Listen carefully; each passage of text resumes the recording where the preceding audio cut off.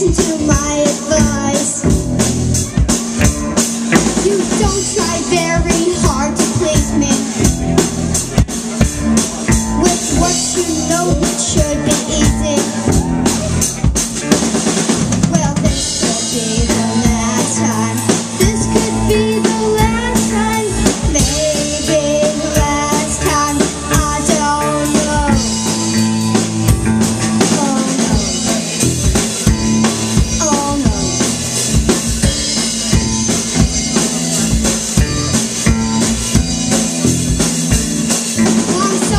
girl, but I can't stay.